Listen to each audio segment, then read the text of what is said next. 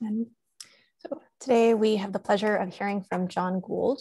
So John is a Royal Society Science Foundation Ireland University Research Fellow and Associate Professor at Trinity College Dublin. He received his PhD from University College Cork and spent time at the Center for Quantum Technologies at the National University of Singapore. Then he undertook research at Oxford as a Marie Curie Fellow and worked as a UN research scientist at the Abdus Salam Center for Theoretical Physics, the ICTP, in Trieste, Italy. He's been at Trinity College Dublin since 2017. His group explores the intersections of quantum information, thermodynamics, and condensed matter. So please take it away. Thank you so much for joining us. Yeah, so so so thanks, Nicole. Um, it's really a, a, pleasure to to give this seminar um, virtually as I was saying the last time I was in Boston, and the first time I was actually in Boston was in 2017 for a nice um, quantum thermodynamics conference. And uh, I tried to sort of give a talk today, which is actually based on very recent work in that direction, but with a large oversection uh, with many body physics, which is really, you know, something close to my own, my own heart. Um, so um, just to give you a little bit of an idea of the type of things that we do in Dublin, um, so we have like, um, you know, I spent almost a decade abroad and I came back in say 2017 and uh, worked hard to start this research group and build it up. And this was actually the last group photograph that we took, which is 2019 already. So this is the, I mean, what you see in the background here is the Schrodinger uh, lecture hall in Trinity, which is uh, famous because it was the place that Schrodinger himself um, gave these influential lectures on what is life. Okay, Schrodinger was 30 years in, in, in, in Dublin or so. And uh, as probably you've all experienced, I mean, physics nowadays looks very much like this, um, unfortunately. But we're managing, and what I'd like to tell you a little bit about just before I start are the types of topics that we explore in the group in case in normal times you want to pop around Dublin and, and, and discuss any of these things. So one of the, the, the, the first topics that, that we explore in, in, in the group is the sort of uh, idea of the energetics of quantum information processing. So we're kind of living um, in the age of quantum simulation and uh, these devices, which are typically mesoscopic, they're noisy, connected to bats, etc. And we are actually very interested in how you can describe, you know, the sort of thermodynamic cost of processing information on these devices. So it's a kind of connection of many body physics again with open systems theory, etc. I mean, the second topic is kind of the raw construction of a stochastic uh, quantum thermodynamics, which I know that Nicole's research uh, is very much involved in. And that's the idea that somehow, you know, often certain devices are very far away from the standard thermodynamic limit where you usually expect thermodynamics to apply. And then you will have sort of dominant fluctuations in the theory and you want to sort of construct a theory which is appropriate to describe very far from equilibrium phenomena.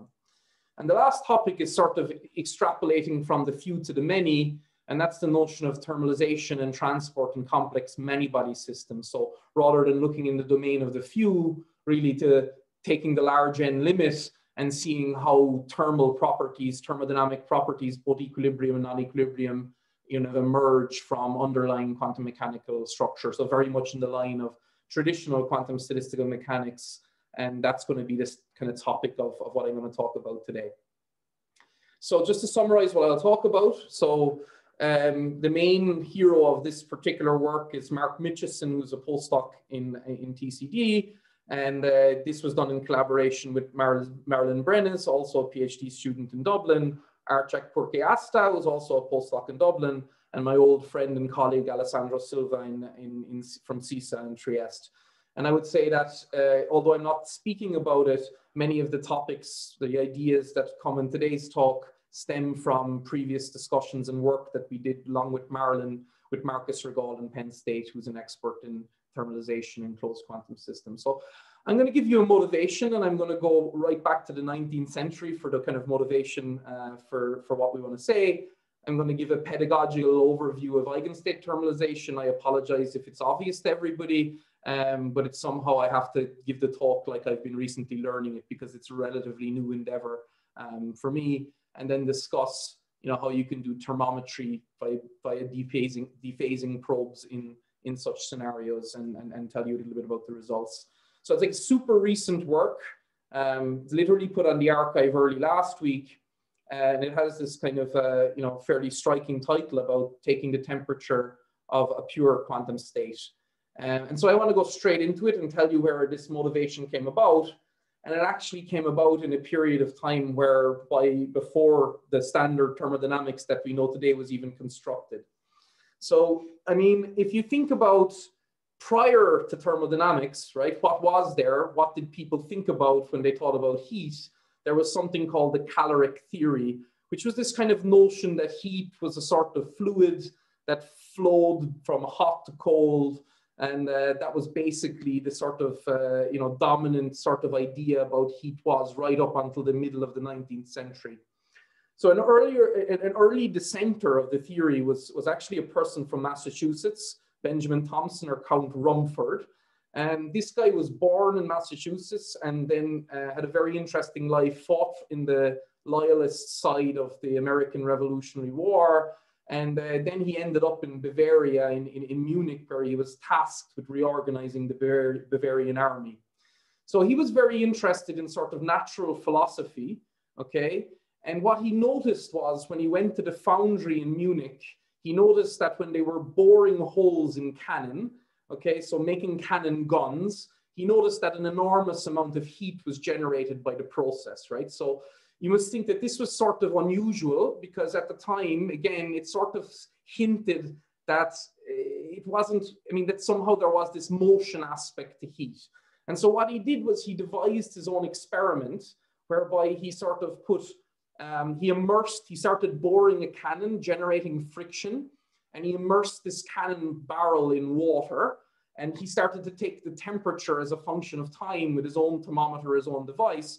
And to his amazement, if you read the original um, you know, uh, paper in Philosophical Transactions, he noticed that after two and a half hours, the water in this device would boil without any flame, which at the time must have been amazing to passerby. We would have only seen water boil by means of a fire.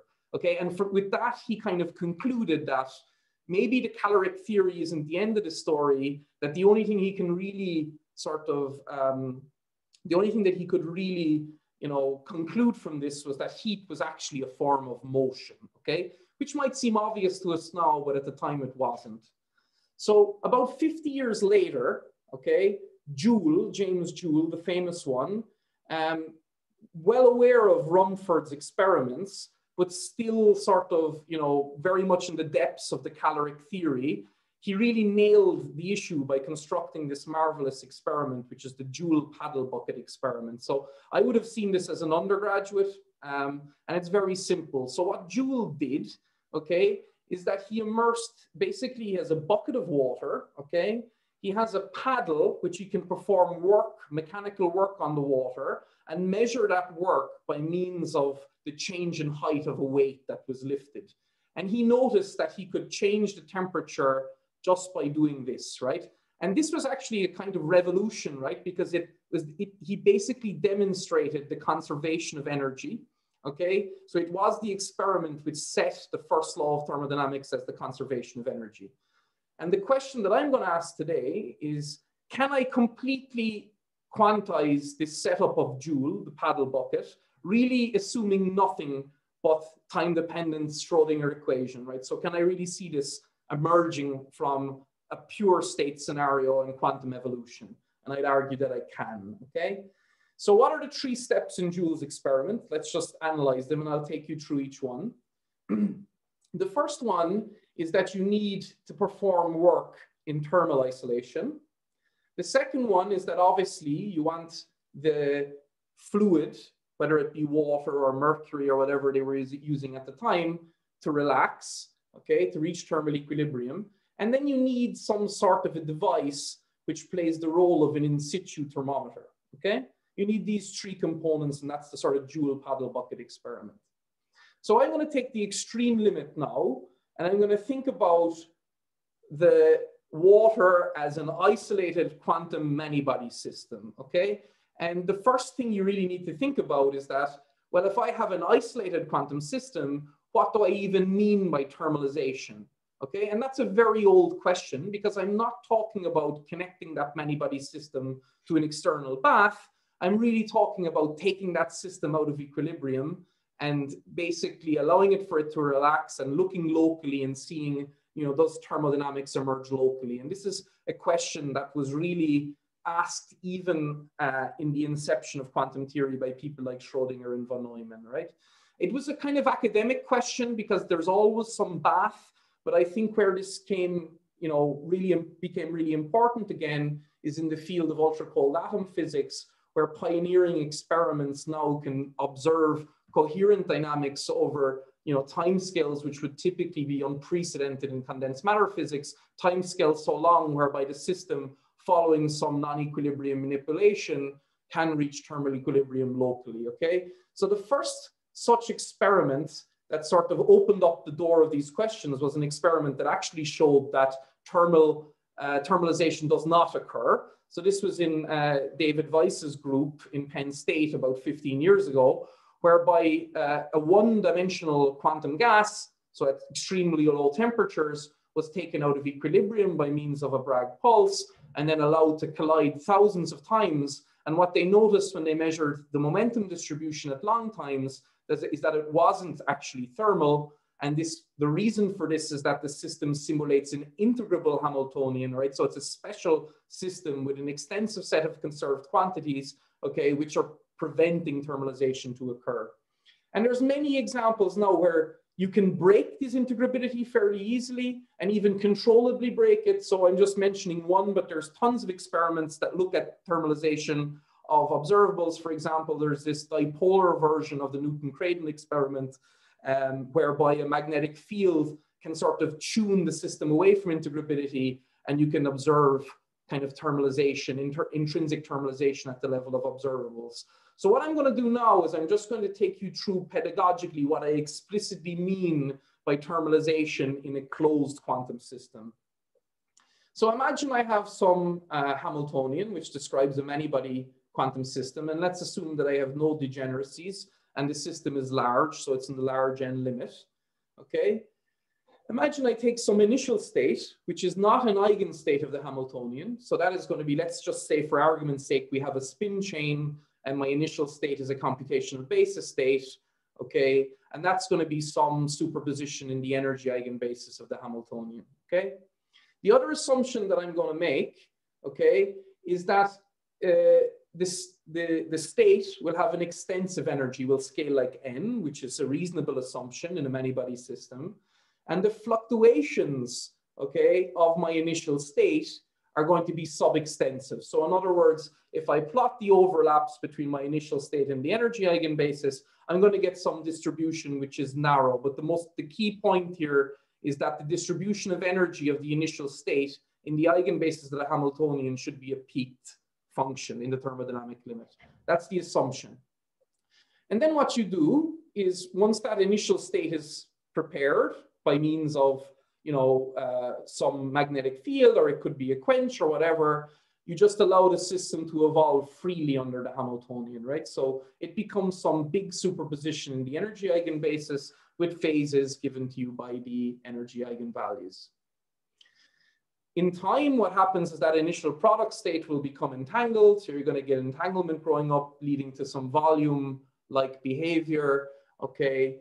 And if you look at some observable as a function of time, some local observable, what you'll actually see, independent of whether or not the system is integrable, chaotic, or whatever, is you're going to see that observable relax in the long time limit. So that's a kind of equilibration of the observable, and it equilibrates to its time average value. Okay, so if I take this O average where it's equilibrating to, it's just the time average of this signal. Okay.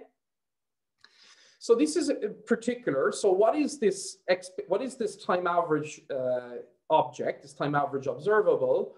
Well, mathematically, you know, what you can see is that if I time average the expectation value, then I'm going to wash away the phases and I'm left with just this term in the diagonal, okay?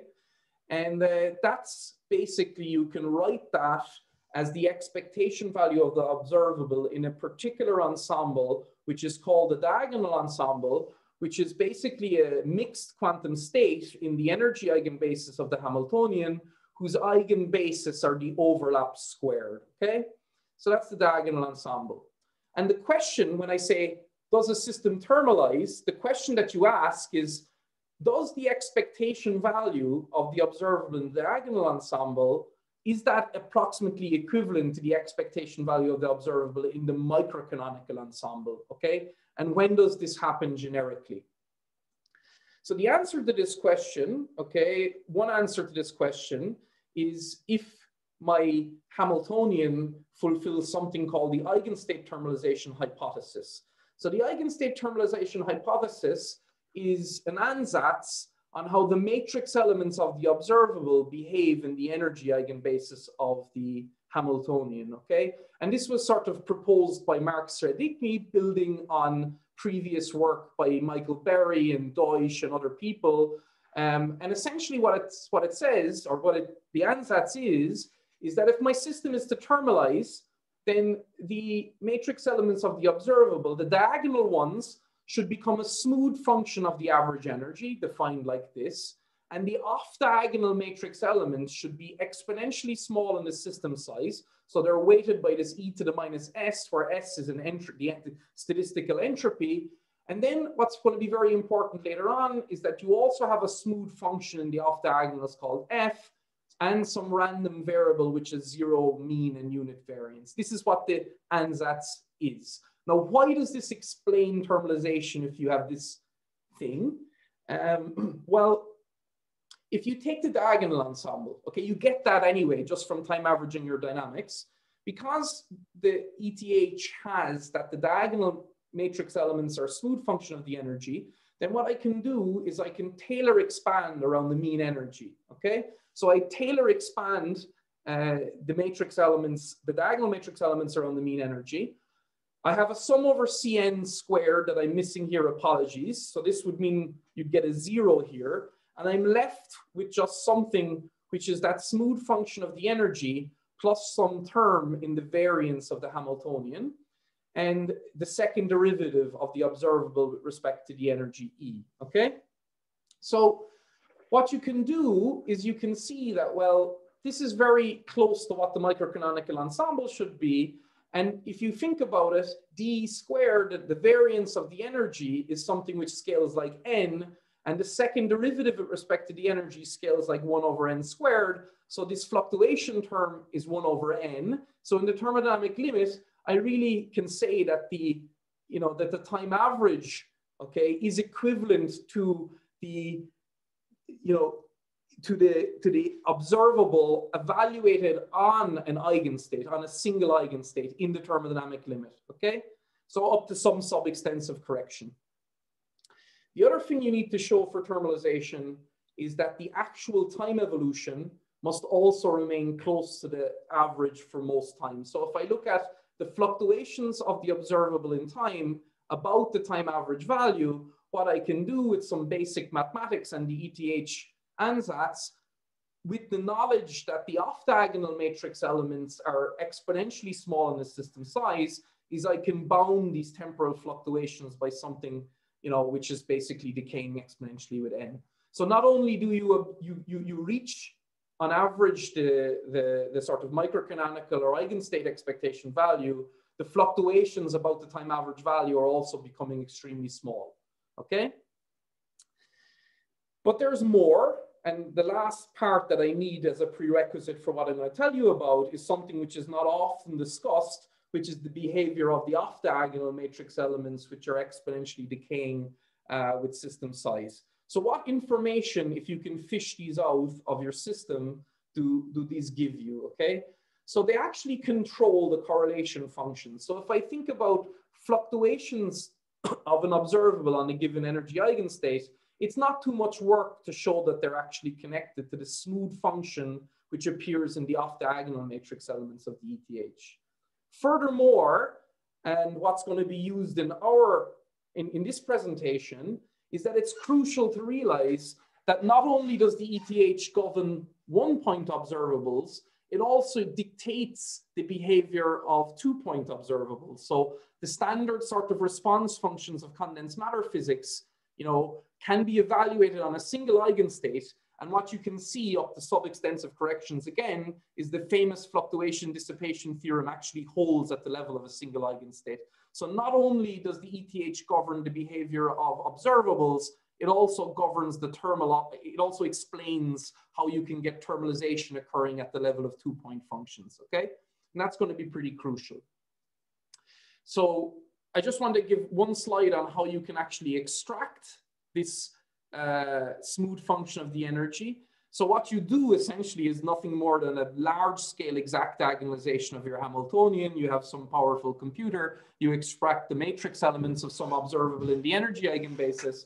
And what you realize that you can extract the matrix elements by looking at the mod of ONM squared in a certain frequency bin and restricting to sum all over the elements in that bin at each frequency. So you fix E average and you vary omega, and at each omega, you perform this coarse graining. And that allows you to extract mod f squared up to some energy dependent prefactor, which you can work out. So numerically, you can get this. It's tricky. You have to sift through gajillions of matrix elements, but you can get the smooth function. I'm going to give you an example of that in just a second. Okay, so for the purpose of the rest of the talk, it's always good to have an example after that particular sort of foray into kind of the, the ETH. And uh, the example that you have in mind is pretty simple. So what we have is an XXZ spin chain. So it's a bunch of interacting spins, which in and of itself is a paradigmatic integrable system. And integrability is broken by adding a staggered magnetic field in the z direction to the many-body system, okay? So this term is known to break the integrability. And if there's any other latent symmetry around the place, we break that by a sort of hand, okay? So we're able to do full diagonalization of this system up to fairly large system size. You can see there's a large Hilbert space dimension, and we literally just get the matrix elements by brute force exact diagonalization. So how do, how, how, do the, how do these matrix elements look? So the first thing we want to do is we want to check does the ETH hold? So this is a particular observable. It's actually a sum of an observable with some envelope function, but it doesn't really matter for what I'm trying to get, get, get across. And you can see that indeed, if you scatter plot the diagonal matrix elements, they're becoming a smooth function of the energy as you increase the system size. And you can see that this black line here is the microcanonical prediction. So what you would see is that if you start increasing the system size, all of those matrix elements are going to lie on a line in the thermodynamic limit, which is the microcanonical prediction. The other thing, which is a bit technical, is that the eigenstate to eigenstate fluctuations decay exponentially with L, which is also a signature. It's often called the weak signature of ETH. The other thing I must say, if, if you have ensemble equivalence, you can actually show that ETH prediction, namely the expectation value on an eigenstate with energy E, you can work out what the canonical equivalent is, and you can compare your prediction for the, the expectation value of the observable in that eigenstate with the corresponding canonical prediction. And you can see for a particular observable local magnetization at the center of the chain, at least for sufficiently decent temperatures, there's a beautiful agreement that only gets better as you increase the system size. So often people ask, why does it start to mess up at lower temperatures? This is not unexpected because the ETH works best in finite size systems away from the edges of the spectrum, okay, because of finite size effects. All right. The next thing is the off-diagonal matrix elements. So you, in this system, you can extract it by the procedure that I just described. So what you see here on a semi-log plot, okay, are matrix elements, off-diagonal matrix elements, and the black line is the coarse-grained average, which actually is the mod f squared, okay? And you can use this extraction of correlation functions, or sorry, extraction of mod f squared to show that you can actually accurately reproduce the correlation functions in the model on a single eigenstate. So you can compare, for instance, here, you know, a calculation done on a canonical state for a correlation function with the equivalent expectation value on a single eigenstate, and you see you get very good agreement, okay? So this comes from another paper that I'm not gonna talk about. So the bottom line about this part is that essentially, look, you can extract a lot of information from off-diagonal matrix elements. and the information that you get is connected to the correlation functions of the model in thermal equilibrium.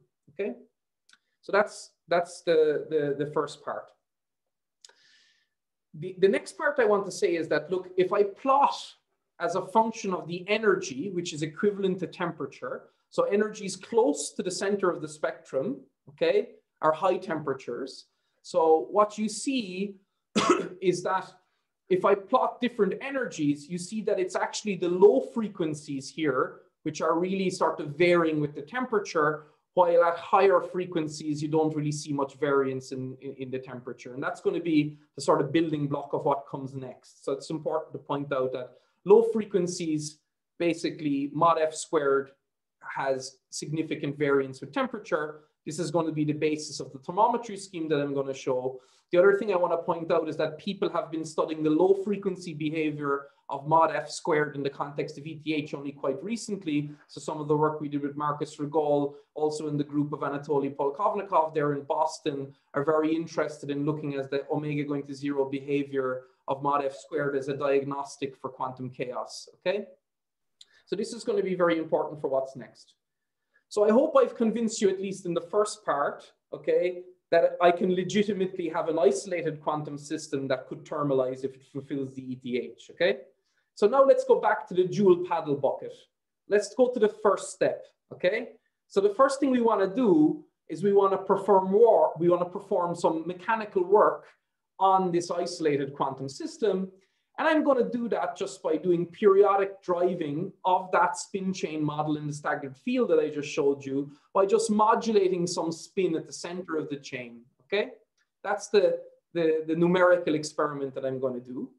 So if you do that, okay, and you assume that the system, the only conserved quantity now is the, sorry, I said, I said something wrong.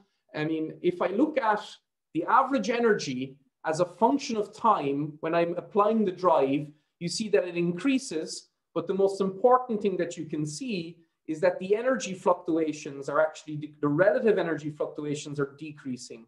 So if you want, I'm performing work, I'm pumping energy into this isolated spin chain. And that the analogy of that is just the paddle, right? That Joule had, the stirring the water, okay? And now what this allows us to do, what's nice about it, right, is that I can use this procedure, say, either in a numerical experiment or in an actual experiment to stop, okay? I just stop paddling or driving, okay? And I get a preparation, right? I'm gonna get some state, okay, which is a highly non-equilibrium state. And this is plotted here. This is for 27 spins, so it's a massive numerical calculation. Uh, we do this by means of something called the kernel polynomial method, but it's not particularly important for what follows. The point is that I have a controllable way to set the average energy of a preparation and make a non-equilibrium uh, initial condition. You could say I do this a different way. I could just quench the system by abruptly changing a Hamiltonian parameter. That's fine too. But what's nice about this is that I can control over time the energy density, and hence I can set the temperature at which the system will eventually equilibrate to, okay? So the non-equilibrium preparation is set, okay, by me basically stopping the driving at a certain time t, okay? Is that clear to everybody before I move on what I'm doing? Okay, it, it just interrupt me if it's not clear. Uh, the next thing you want to do, so that's that's taken care of. I perform my mechanical work. Okay. The next thing, of course, that we have to do is we have to wait for the system to re-equilibrate and hopefully thermalize, right? And uh, this, I think, is a really uh, nice example of the ETH in action. Um, so what you have here, okay, is now I plot an observable as a function of time after that preparation step so these different colors correspond to different preparations. Okay, so different amounts of energy that I've pumped into the system.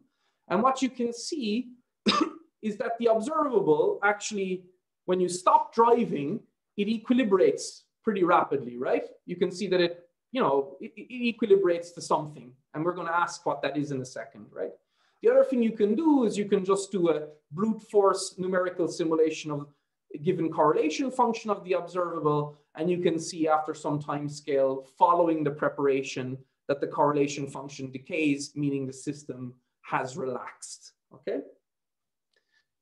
Now the question is, does the system reach a new temperature, okay, in the long time limit after the driving, which is set by the energy density of the initial condition? And the answer is yes. So what you see here is the is the time average value of this observable. I just time average the signal, okay, at different E averages corresponding to different preparations of, of my drive. So the longer I paddle, the more energy I put in, okay? And the, the blue line is the microcanonical prediction computed from another technique. So a finite time average. And you can see that you have a beautiful agreement between microcanonical statistical mechanics, okay, and the time average of your dynamics here. And this tells me that the system is thermalizing with, to an energy, you know, to an energy set by the energy in the initial preparation, okay? So it's a very beautiful example of thermalization in a large many-body system. And I can go a little bit further. I can also look at to see if the correlation functions are also behaving in the same way. So if I plot, for example, the low frequency um, part of the division between the susceptibility and, and the noise correlations, I can basically show that I get a very good agreement with the fluctuation dissipation theorem. So there's no question, at least in this numerical experiment, that after I stir and I wait, the system relaxes to a new energy, to a new, to a new thermal equilibrium at a temperature which is set by the amount of time that I actually drive the system to, okay? That's, that's the next step. The last part of the Joule paddle bucket experiment is to be able to take the temperature. And remember, so far in this numerical experiment, I've done nothing really, only solve the time-dependent Schrodinger equation in this many-body system. I have not yet, I mean, this temperature is emerging internally because the system internally is equilibrating, okay? And I wanna keep that pure state character, okay? So how would I do that? So there's various different ways you could imagine measuring the temperature of an isolated system. And my suggestion now is we're going to do something that keeps the whole thing quantum, very quantum, okay? So we really want to make something which is not really a classical thermometer, but really a quantum thermometer. And it'll become very clear what happens uh, next. So what I'm going to do, okay, is I'm going to assume that in the background, okay, while this whole experiment is taking place, this driving of the many-body system, this waiting for thermal relaxation, there lies about an ancillary uh, qubit, okay? And that ancillary qubit has got an interaction Hamiltonian, which is pretty particular, but it's not uh, unusual, for example, in cold atoms to engineer, which is that when the qubit is excited, it interacts with the many-body system, but when it's in the down state, it's just transparent. So it only kicks the many-body system when it's flipped into the up state, okay? And that uh, interaction Hamiltonian commutes with the Hamiltonian of the qubit. And this means you have a type of pure dephasing interaction. So the probe interacts with the many-body system. And what it actually does is it generates an entangled state between your qubit probe, which is now going to play the role of a thermometer, and the many-body system. So after you put in a pi over 2 pulse, meaning a Hadamard operation on the qubit, what you see, the system evolves into an entangled state between the qubit and the probe. And I mean, I would perform this Hadamard operation after the system relaxes, okay? So really not at the start, but I wait for the many-body system to relax, and then I, I put in a Hadamard operation to my thermometer qubit, and then I, I get this entangled state, okay? So I stir, I wait, okay? I wait for relaxation, and now I switch on a Hadamard gate, and I get this entangled state between the qubit and the many-body system. And what happens now is, of course, because of that interaction uh, between the qubit and the many-body system, uh, if I trace out the many-body system, the qubit decoheres, okay? It, decoheres in the presence of the many-body environment. And uh, this is very easy to work out how it decoheres it decoheres in a way in which, um, you know, which is dictated by the following function, okay, which is often called a survival probability. So if you want, uh, it's the fidelity between your state where the you've turned on this sort of interaction, okay, and the state where whereby you haven't, okay. So it's a it's an overlap function, and this can be measured in the lab, okay. It can be measured in by a Ramsey interferom interferometric sequence, um, and the, and the way you do that is that you apply a second pi over two pulse to the qubit with a phase theta relative to the first, and then you measure the probability of the qubit to be in the excited state. And by varying that phase, what you can do is you can extract the decoherence function, okay? And that's very general, you can always do that. So here's the thing, I'm making another assumption. I'm going to assume now that my qubit, okay, is weakly coupling to the many-body system. So it, it has a small interaction strength. And if you assume that, what you can do mathematically is you can take the decoherence function and you can perform a cumulant expansion up to second order into the interaction term, okay? And what you get is you get a term which looks like this, which depends on S of omega, which of course is a correlation function in frequency space, okay?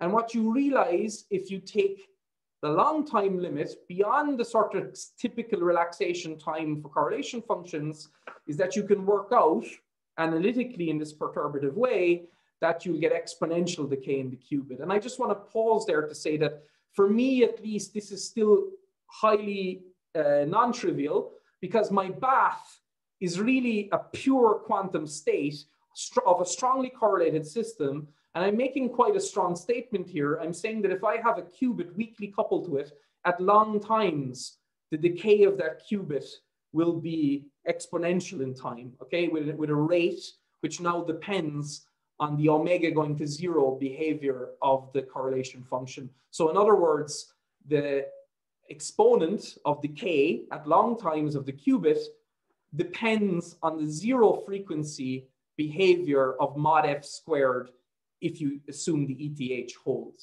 okay? And if you track your mind back, I showed you that the low frequency um, limit of the correlation function is very sensitive to temperature. And now this is going to be the sort of idea that I'm probing the temperature, okay, of this sort of pure state Joule bucket type experiment, right, by means of entangling a qubit to this many-body system. So how does it stack up? How does this weak coupling approximation stack up to a, say, brute force evaluation of the dynamics? So what you see here, the solid lines are different, uh, you know, different uh, exact, numerically exact calculations of the decoherence function. And the dashed lines are our weak coupling approximation on a semi-log plot, right? So you see that this very well describes this behavior for this weak coupling, okay? The second thing is that rather than thinking about decoherence, you can say that the qubit is really becoming entangled with the environment and it's quite straightforward to extract how the entanglement of the qubit in the presence of the, of the environment depends on the temperature. So you can see that these different colors are different temperatures and the qubit is basically getting a different rate of entanglement generation depending on the temperature, okay? Um, I should point out that again, we are the qubit is not thermalizing because of by virtue of the interaction that we that we um, chose. So we chose a specific form of interaction between the qubit and the many-body system, which is such that the interaction Hamiltonian commutes with the, the qubit Hamiltonian, and therefore in the asymptotic limit, you get a maximally entangled state with a rate which basically is governed again by the low frequency behavior of mod f squared in the ETH, right? So if you plot now this exponent versus the average energy, you can see that it's a linear function of the average energy. And then if you plot it versus temperature, you see it has this type of behavior. So there's a very nice sort of uh, temperature dependence on the exponent, which then is the basis of our thermometer. Now you might say, at this point, that's all very nice, very interesting, I hope. Um, but you know, ultimately a thermometer should be sort of something, you know, which has some behavior that you can a priori before you do your experiment trust. For instance, you know that like, you know, for instance, mercury expands when you heat it in a certain way, linearly, whatever it is. Okay, and this is certainly, you know, to me, it doesn't seem, at least in this particular case, that this would not be observable or system independent, right? However, what I would say eh, in, in, you know, in general is that, well, there's two things. Before I get on to making a general statement, I just want to say that if you, if you like, this is a type of Schrodinger's thermometer, okay? Because I'm really exploiting entanglement between a microscopic degree of freedom and a macroscopic degree of freedom, totally in a pure state. And what's really amazing to me as a thermodynamist is that I get this, you know, sort of really realization of the Joule pile bucket experiment at the level of just time evolving the Schrodinger equation, right? So it's for me, it's kind of remarkable that that's the case that you get thermodynamics coming out of a coarse graining of the, but it, you know, much more than just thermalization. You can really see that you're converting mechanical work into heat, which manifests itself in a temperature change, etc. And I think it would be a very nice thing to, to demonstrate. But you know, the problem is with this particular thing is that you know, in the end, you know, it seems that mod f squared as omega goes to zero doesn't have any particular you know universal functional form as a function of temperature that you can actually um, exploit. But at least we have an argument in higher dimensions. We don't have um, numerical data because it's too difficult to do good numerics in three dimensions. But what we could what I can say from a hydrodynamic argument based on an old paper by Kadanoff and Martin is that in three dimensions, okay, you expect the chi double prime of omega, the imaginary part of the of the uh, susceptibility to scale like omega, okay? And if you go through the details, okay, I'm running out of time now, but if you go through the details that are in the paper, what you can argue is if you have a three-dimensional system, okay, where you know the temperature dependence of the diffusion coefficient and the uh, static susceptibility, there's a kind of linear scale for this exponent, which could be exploited to do a highly novel quantum thermometry in a system in higher dimensions, which shows diffusion, okay? There's some subtleties in one dimension regarding the thermodynamic limit. I don't want to get, in, get into them now. I'm more than happy to talk about it with anybody afterwards. But I mean, it's beside the point because what I think I hope I demonstrated or convinced you that the mechanical equivalent of heat experiment from Joule, okay, which is probably one of the most important physics experiments of the 19th century, can be re-expressed totally in the language of pure state thermodynamics, right? So if you assume ETH, that's basically all you need. Um, I hope I gave you a convincing in silico experiment. Um, and I think the key point here, and I think the foundational question that this raises for thermodynamicists is that if you accept that generically systems that are not special, like they're not many-body localized, they're not integrable, generically fulfill the ETH, do we actually really need ensembles at all? I never referred to this temperature being set by some ensemble. I mean, it really set by the energy of the initial condition and everything is got from, you know, the sort of evolution of a pure state. And the other nice feature, which I find novel, I have no idea if it's more useful than another way of doing thermometry, but at least it's, it's interesting from a foundational perspective, is that this thermometer is really quantum in the sense that it, it works on quantum interference. So you look at the, you know, the, the temperature dependence of, of, of, of Ramsey fringes, um, which gives you essentially the rate of entanglement generation between your qubit probe and your many-body system. So with that, that's all I have to say to you. I hope that it encourages you to read the paper if, if, if you can. Uh, give us some feedback would be nice. We're very excited about it. It was a very um, sort of, it was a project that required a lot of different things. Um, so Mark Mitchison really did a great job in leading it. Um, and with that, I'd just like to say thanks and I'm happy to discuss with anybody. Thank you. Thanks very much for the talk. I very much liked the clear parallel between the experiment during the 1800s and what we can potentially do with a quantum system today. Does mm-hmm. anybody have any questions for John?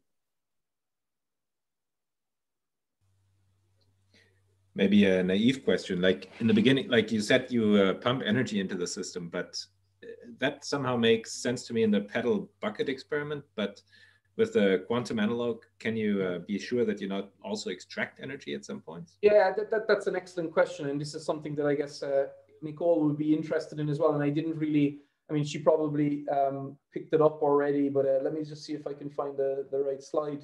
Um, this one, where is the, yeah. So, so maybe I, I went a bit too fast. So, um, so look, I mean, I just use a slight different terminology, which is more familiar in the in the many-body physics domain. But I mean, one thing that I I, I, I, I can tell you is that we performed work on this system and preparing the many-body system in the ground state. So the ground state in quantum thermodynamics is a passive state, right? So, I mean, I can only really perform work in that way on average, right? So I only give energy into the system.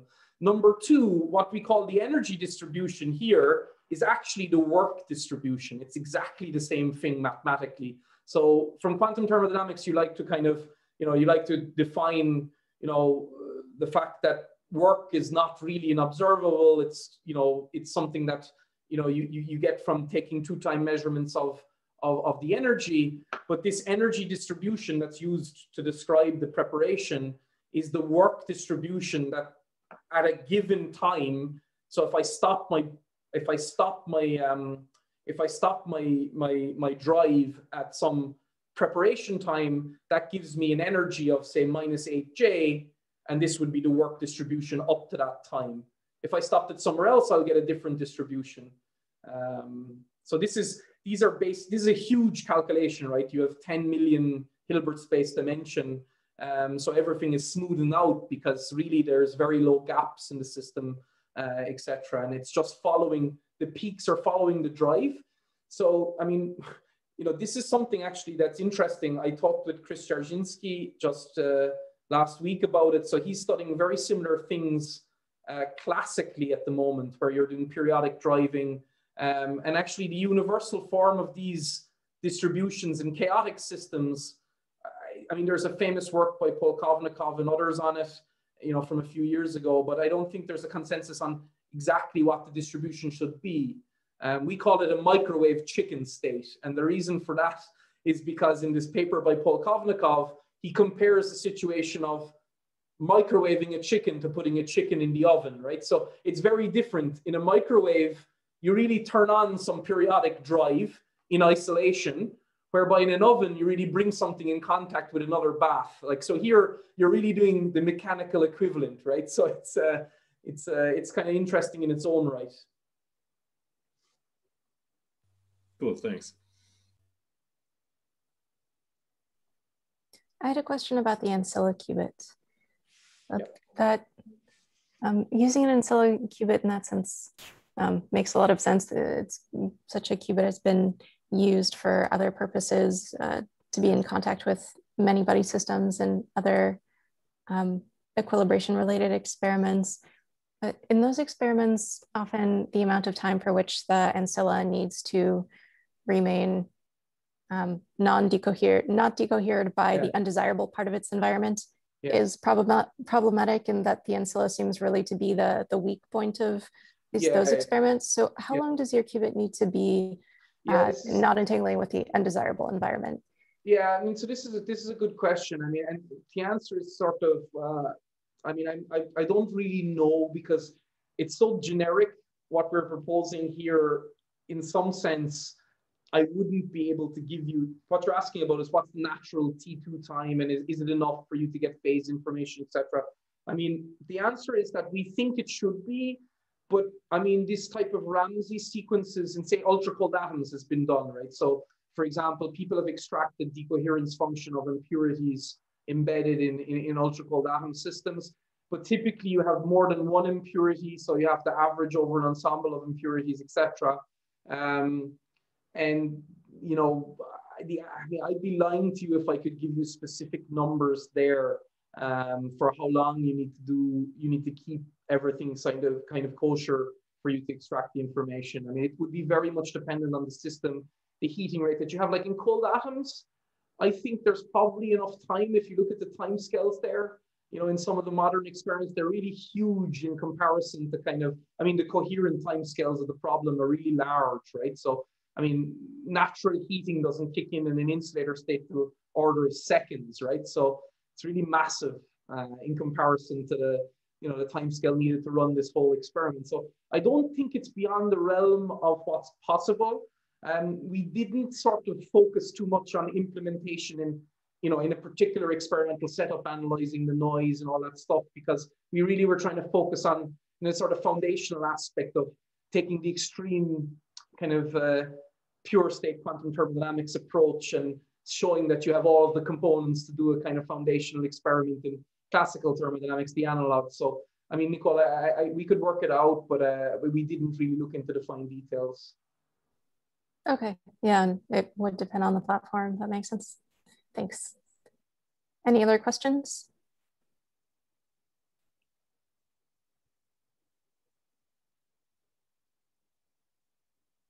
Okay, then thanks very much again for the talk and thanks, thanks for joining us.